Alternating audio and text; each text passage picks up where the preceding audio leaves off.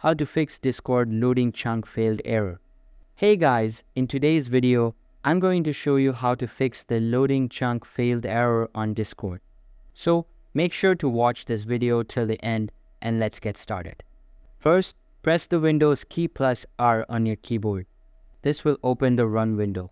Now type in percentage app data percentage. Click OK and a folder will open. Find the Discord folder and you have to delete the folder from here. Once that's done, close the window. Now again, press Windows key plus R. This time, type in percentage local app data percentage. Hit OK. Once this opens, find the Discord folder again and delete it too. Now go to the taskbar search and type add or remove programs. Open where you can uninstall the apps easily. Once it is open, the list of installed apps will appear, find Discord, and simply uninstall it, and follow the steps to remove Discord from your system.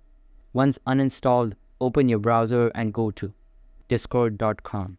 Click on Download for Windows or for your device.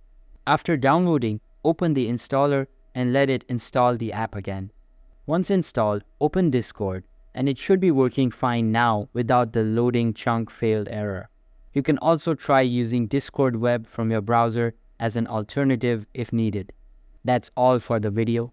If this fixed your issue, hit the like button and don't forget to subscribe for more helpful tech guides. If you've got any questions, drop them in the comments. See you in the next one.